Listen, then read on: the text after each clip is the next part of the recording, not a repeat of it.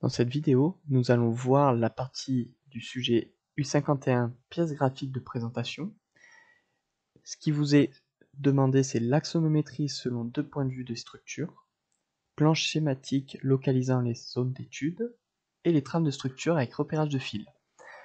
Donc là, c'est euh, le résultat qu'on attend. Et juste à côté, ce que je vais faire afficher, c'est le Donc voilà, généralement, le dossier U51, l'examen U51 est organisé de cette façon. Je vais réduire mon PDF et je vais aller directement dans le 3D. Au préalable, vous devez faire attention d'être en version 30. Donc là, ma vidéo que je suis en train de vous présenter est sous la version 30. Si vous êtes en version antérieure 28 ou 29, il n'y aura pas toutes les fonctionnalités que je vais vous montrer qui vous permettent de gagner énormément de temps. Sans plus attendre, nous allons exporter en plan ce qui nous a été demandé. Donc là, je positionne le 3D d'une façon où tout doit être visible sur mes plans. Donc là, là, quand je vais exporter en plan, ce que j'ai à l'écran, c'est ce qui sera visible sur mon 2D de CADWork. Je vais utiliser les boutons X, Y, Z. Voilà, donc au fur et à mesure que je clique, il me met dans la direction. Mais je vais me mettre en axonométrie. Si je fais un simple clic gauche, il va me mettre, il va m'afficher la fenêtre, enfin mon, mon 3D de cette façon. Je vais rester très longtemps sur le A sans rien cliquer et on voit que clic milieu, entre parenthèses N, c'est l'axonométrie actuelle tournée de 90 degrés. Clic milieu, voilà, je tourne autour de mon bâtiment. Ce qui va être très important pour la suite. Je refais un clic gauche. Donc pour exporter, vous connaissez peut-être l'export plan, dit l'export 2D, petit raccourci qu'on vous apprend généralement à l'école, c'est l'export virgule. C'est le seul export que je ne vais pas vous montrer. Moi, je vais vous montrer l'export 2D sans cadre et avec une impression. Pourquoi? Parce que vous allez plus rapidement modifier les couleurs comme vous le souhaitez. Je vais dans le réglage du 2D avec cadre. L'avantage de passer dans le 2D avec cadre d'impression, je peux directement lui indiquer un format d'impression. Est-ce que je suis en A3 paysage, A3 paysage sans cartouche, A3 portrait Et en fait, en modifiant par exemple en A4 paysage, CADWORK va automatiquement vous trouver l'échelle qui correspond à votre mise en page. Je vais mettre un A3 paysage pour commencer. Et dans affichage, je peux aller dans échelle et c'est ici je peux lui dire justement est-ce que je suis à l'échelle fixe? Je veux que ça soit à l'échelle réelle. Bon ce qui n'est pas forcément euh, très pertinent pour l'export que nous allons faire. Je vais utiliser l'export automatique optimal selon format de la page. Et seulement les échelles de la liste personnalisée cela permet justement de ne pas avoir de l'échelle 1 53e, 1 34e, voilà des échelles qui ne sont pas normalisées. Dans les réglages, je vais faire très attention de cocher utiliser Assure et ligne selon dialogue matériaux. Nous verrons après le résultat de pourquoi il faut vraiment avoir cette coche pour que vous puissiez gagner du temps.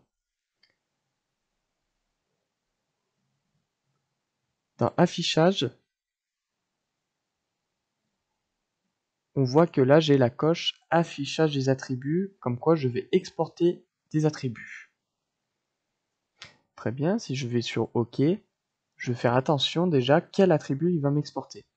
Soit je vais dans les réglages exporter plan comme là où été dans l'onglet attribut, ou directement, si je fais afficher attribut, donc là on voit que j'ai beaucoup de choses qui sont indiquées, mais je vais faire attention que ce n'est pas le réglage 3D, je ne vais pas faire afficher les attributs du réglage 3D, mais bien du 2D avec cadre. Donc là, on voit que 2D avec cadre, il ne se passe plus rien, il n'y a plus rien qui s'affiche. Dans le réglage 2D avec cadre, on voit que là, j'ai aucun attribut sélectionné. Donc j'ai bien coché afficher attribut, mais je n'ai pas d'attribut de visible. Donc là, le premier export étant de faire deux euh, axonométries de mon bâtiment. Exporter plan 2D avec une impression. Il va me poser la question du presse-papier. Je le mets en presse-papier numéro 1. Donc là, il calcule et ce qu'on va faire, attention, c'est que on va aussi faire un deuxième export. Et donc là, pour aller de l'autre côté du bâtiment, au lieu de faire un clic gauche sur axonométrie, pour rappel, je vais faire un clic milieu une fois, un clic milieu deux fois. Je refais mon exporter plan, 2D avec cadre, et je vais faire attention de ne pas mettre le presse-papier numéro 1, mais le presse-papier numéro 2.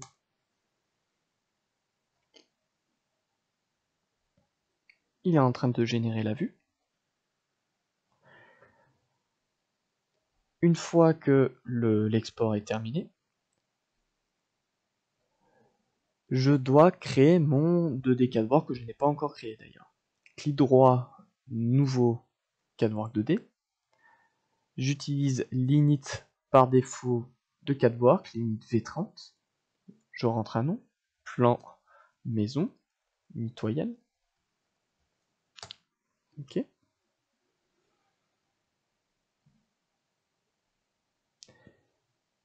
Et de là, je vais importer le résultat, je vais le coller.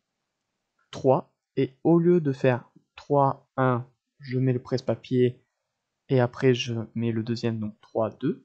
Je vais dire directement 1, 2, entrée, placer l'élément. Et donc là, ce n'est pas un clic gauche, parce que si je fais un clic gauche, ben voilà, il ne se passe rien. 3, 1-2 et c'est bien un clic milieu. Et là on voit à l'écran que je vais avoir les deux presse-papiers d'un seul coup à mon écran. Et comme je vous l'ai dit avec le 2D avec cadre, directement vous avez un cartouche. Donc là c'est vraiment les réglages par défaut de CADWORK que j'utilise. Donc c'est vraiment le résultat normalement tel quel que vous allez avoir. Imaginons que L'affichage de mon OSB, ce n'est pas la couleur que je souhaite, je veux le personnaliser. Et pourquoi pas regarder aussi la vue par bout de mon chevron. On va s'occuper de l'OSB d'abord. CADWORK, qu'est-ce qu'il fait lors de son export plan? Il va prendre comme euh, référence le matériau. Donc là, je vais aller dans le 3D, je vais sélectionner mon OSB et on voit que j'ai un matériau OSB 4. CADWORK, quand il fait un export plan, comme je le disais, c'est qu'il prend en considération un matériau. Et le matériau fera le rendu. Pour modifier l'apparence des exports plans du matériau, vous avez juste à cliquer sur Matériaux. Je vais aller dans l'onglet Construction, Panneau, USB 4. Et on voit que là j'ai un onglet Propriété Peut-être c'est la première euh, premier affichage que vous allez avoir quand vous allez sélectionner le matériau. Et là, vous avez un onglet aperçu. Quel est l'aperçu? C'est l'aperçu de votre 3D, la texture, mais le rendu de vos exports plans. Et on voit que réglage de la vue, je suis en rose. C'est ce que j'ai d'ailleurs à l'écran, dans le 2D. Quelle est la différence entre réglage des vues et réglage des coupes? C'est, imaginons, je me mets en plan 2D et que je coupe un élément. CADWORK va prendre ce réglage. On le verra lors de volume export quand on va faire une coupe selon une file. Si je veux modifier le rendu, je clique sur les vues de face et de dessus. Couleur de fond, par exemple, je suis en couleur 136 et je vais lui dire, bah tiens, CADWORK, je voudrais que ça soit en couleur orange. J'accepte. Et en réglage par euh, donc représentation des vues de face, pas 136, je vais le mettre, tiens, la couleur 32 pour qu'on puisse voir la différence entre 2D. Je clique sur OK, donc on voit là qu'il va charger un petit peu. Je refais mon exporter plan 2D avec une impression. Si vous êtes des, euh, vous voulez gagner du temps au lieu de faire exporter plan 2D avec cadre, directement si vous faites point virgule dans le 3D, vous faites un export plan avec une impression. Presse papier numéro 1 pour l'exemple.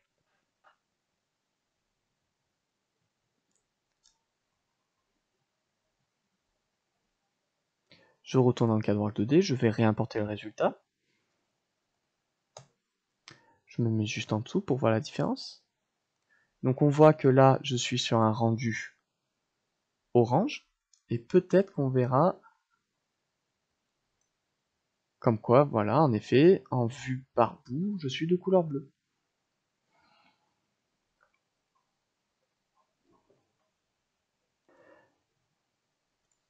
Donc ça déjà c'est le premier export, donc ça vous avez compris que c'est un export à l'instant T, vous n'avez pas de lien entre le 3D et le 2D. Donc là on est vraiment sur des exports dits des exports simples.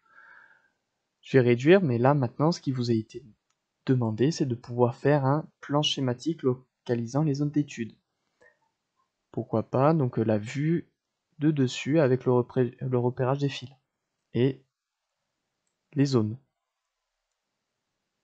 Donc là, on va faire afficher les attributs. Je retourne dans le 3D. Je me mets en vue Z. On voit bien mes fils. Par contre, dans l'affichage des attributs, dans les réglages, je vais lui dire par exemple d'indiquer le... Si je mets le sous-groupe, nous allons voir. Ouais, c'est pas forcément ce qu'on aurait besoin. On va plutôt mettre le groupe. Donc tout dépend de comment vous avez conçu votre 3D le groupe, je clique sur OK, et là on voit, ouais, il y a beaucoup d'éléments. Il y en a beaucoup trop. En fait, ce qui fait CADWork, c'est qu'il affiche l'attribut de tous les éléments que j'ai dans mon 3D. Ce qui peut être vite imbuvable. Tout simplement, je vais lui dire de résumer les attributs. Je clique sur OK, et là on va voir, ah ouais, super, c'est qu'il a résumé les attributs de mes éléments. Ça voudrait dire au lieu de faire afficher les attributs sur toutes mes pièces, par exemple si je prends ces deux chevrons, que je masque les éléments qui ne sont pas sélectionnés, il va vraiment afficher l'attribut au milieu de mes deux éléments. Je retourne sur la vue arrière, au lieu de faire J, je veux tout, j'utilise euh, la petite ampoule, vue de dessus. Si je fais un export 2D avec cadre, point virgule 1, Nous allons voir le résultat. Je vais dans le 2D, j'importe le résultat. On voit que, en effet, on a des attributs intéressants et d'autres peut-être un peu moins. Mais là, tout simplement, ce que vous pouvez faire, c'est supprimer les attributs dont vous n'avez pas besoin.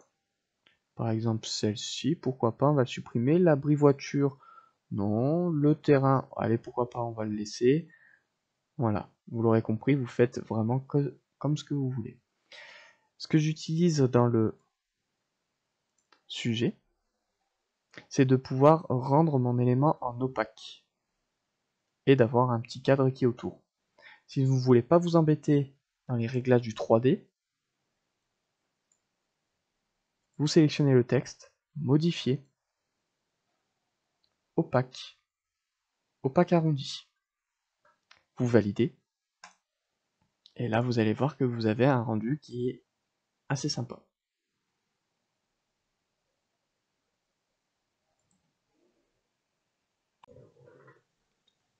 Mais si on reste dans cette configuration d'export, les attributs peuvent se positionner pas à l'endroit comme on le souhaite. Le fait de résumer, c'est vraiment, il va mettre les attributs au milieu entre deux éléments. Encore plus simple, je réduis la fenêtre, par contre je retourne le 3D, je vais décocher le fait de résumer les attributs. Et là où, alors pour le moment je vais décocher afficher attributs en axonométrie, je vais au préalable sélectionner par exemple un élément, un deuxième qui est de groupes différents. Voilà, donc par exemple, je vais prendre cet élément qui est ici, le, poteau, je vais me remettre en vue de Z, donc j'ai bien sélectionné des éléments, comme on peut le voir sur ma barre, j'ai trois petits points comme quoi j'ai plusieurs noms de sélectionnés, j'ai quatre volumes actifs, et du moment que je sélectionne les éléments, quand je vais faire exporter plan, allez pourquoi pas cette fois-ci on va faire 2D 104 d'impression, je vais regarder dans les réglages, donc là j'ai pas de format qui m'est posé, par contre, dans les échelles, bon, je suis à l'échelle 1 centième, je vais mettre à l'échelle 1 cinquantième, pourquoi pas. Ok. 2D sans cadre. Presse-papier numéro 1, entrée, et là, il va me poser une question très importante. Faut-il afficher les attributs uniquement sur les éléments actifs? Pour rappel, là, Je lui ai dit dans les réglages comme quoi il faut qu'il affiche le groupe lors de mon export plan. Je n'ai pas résumé les attributs, mais j'ai sélectionné des éléments. Donc là, il me dit, est-ce que tu veux vraiment faire afficher les attributs uniquement sur les éléments actifs? Et au lieu de dire non, donc si je fais clic droit, il va prendre non en considération. Moi, je veux vraiment faire afficher les attributs sur les éléments que j'ai sélectionnés. Exporter les attributs actifs si ceux-ci ne sont pas visibles sur le dessin. Oui, pourquoi pas.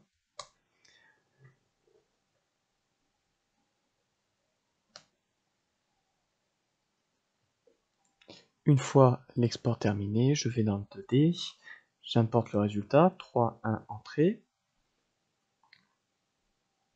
Et on voit si je zoome qui m'a fait afficher les attributs uniquement sur les éléments que j'ai sélectionnés. Mais ce qui peut vous arriver aussi, je voulais que ça arrive, c'est qu'il ne me fasse pas afficher les bons attributs. Pourquoi?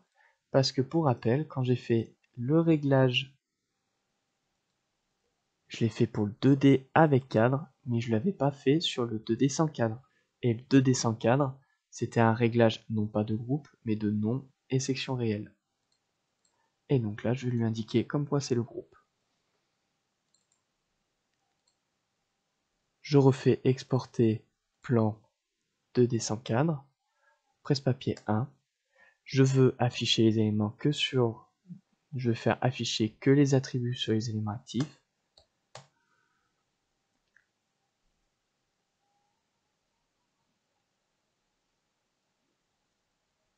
Je réimporte le résultat.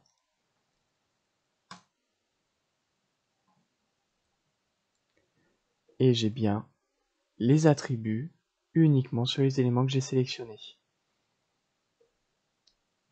Et donc mon poteau qui est ici.